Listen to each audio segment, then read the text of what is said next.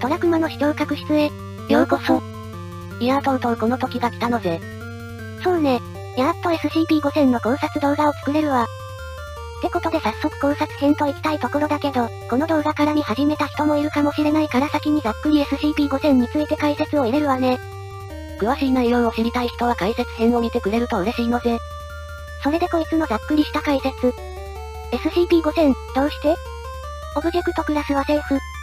こいつは財団製と思われるパワードスーツよ。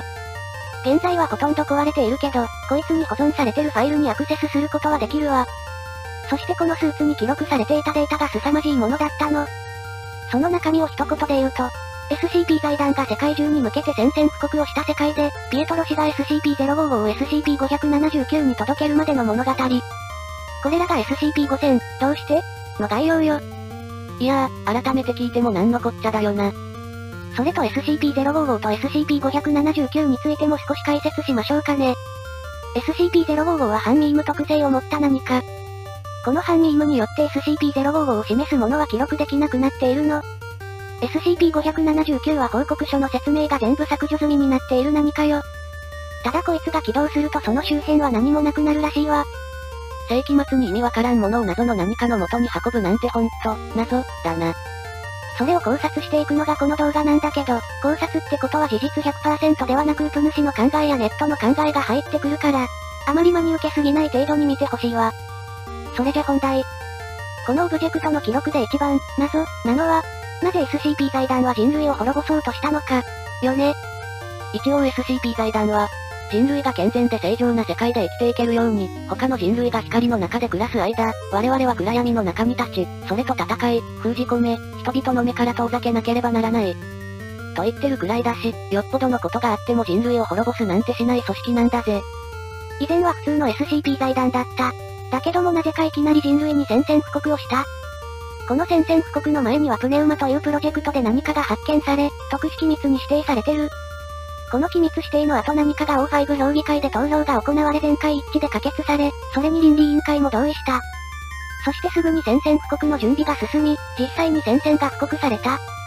こんな感じに宣戦布告に至ったみたいよ。まあどう考えてもこのプネウマで発見されたものが怪しいよな。そうね。それでこのプネウマっていうプロジェクトの中身だけど、大規模記憶処理プロジェクトの一つで、人間の集合的無意識を使ってなんやかんやするものみたいよ。この人間の集合無意識空間に何か今までの常識をひっくり返すような何かがあったってわけでしょうね。しかし残念ながら何が見つかったかは編集済みで見られない。というか記事内にはこれというような答えは書かれていない。ここからは本当に事実が蒸発していくからね。とりあえず現段階で財団が人類を滅ぼすに最もらしい理由を挙げるとしたら、プネウマで人間の深層心理には SCP-682 の側面があったと気づいた。ってのが一番ウプ主があり得ると思った説よ。一応ネットの世界には人間性が異常存在であるから収容するために虐殺しているというものもあったけど、ウプ主はまずないと思ってるわ。いつぞやに愛によって異常が活性化するっていうオブジェクトを解説したの。その時財団は一度人類を滅ぼして、愛を消去した人類を SCP-2000 に作らせ、その愛のない人類が新しい文明を築いた。ただこの SCP-5000 の記録上、SCP-2000 は破壊、もしくはすぐに使えない状況に財団がしていた。つまり財団として人間性を収容する場合、虐殺はわかるが SCP-2000 の破壊と辻褄が合わないため、ウプ主はこれはまずないと思ったの。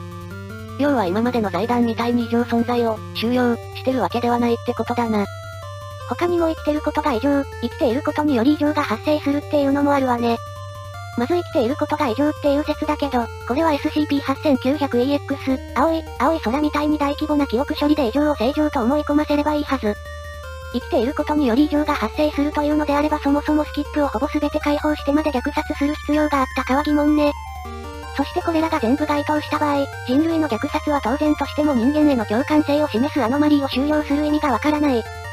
その共感性を取っ払えばいいだけのように思えるわ。そろそろ話題が迷子になりそうだから話を戻すけど、プネウマで人間の深層心理には SCP-682 の側面があったと気づいた。と思う理由ね。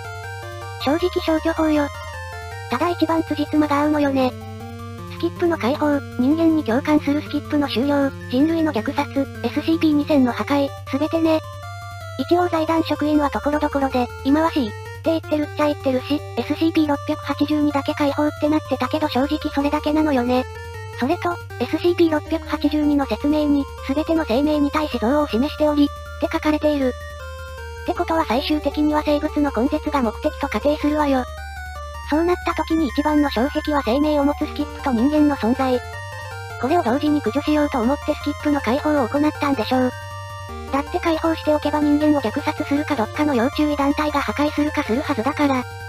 そして人間に共感するスキップの終了は、人間と徒党を組まれてはそこに死が発生しないからさっさと終了させたんでしょう。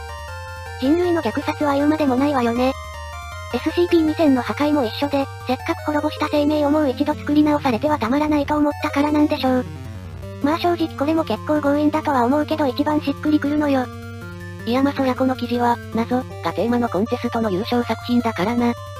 それともう一つ、謎、はあるだろ？RSCP-055 と SCP-579 についてね。正直これはほぼわからずよ。一応わかっていそうなことは、SCP-055 と SCP-579 で世界が再生できそうってことくらいかしら。SCP-2998 の中でそんな感じに書かれてはいるけど、それが本当なのかどうかは怪しいものよ。そしてなぜピエトロ氏が SCP-055 と SCP-579 を合わせようと思ったのかも不明ね。一応なんかの脅迫観念があったらしいけど、何かの異常性なのかそれとも別の何かはわからないわ。正直このオブジェクトは一度大勢の人と議論とかしてみたいね。ウプ主が生放送できればなもしかしたらそれが実現する日が来るかもよ。一体いつになるんだろうな。ま、今回はこの辺にしておきましょう。謎に興味を持った人はグッドボタン。ぜひ議論してみたいっていう人はチャンネル登録お願いします。それではご視聴、ありがとうございました。ました